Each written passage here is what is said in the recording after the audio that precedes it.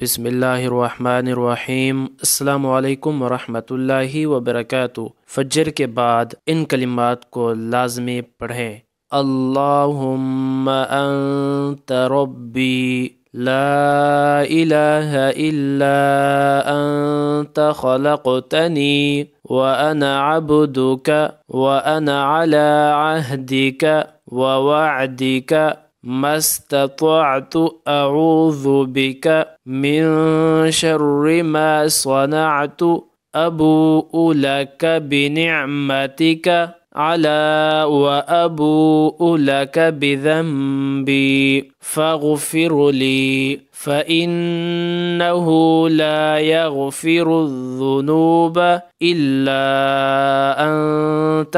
اللہ تبارک و تعالی سے دعا کرتے ہیں۔ اللہ تبارک و تعالی ہمیں ان کلمات کو کثرت سے پڑھنے کی توفیق نصیب فرمائے۔ آمین سما آمین۔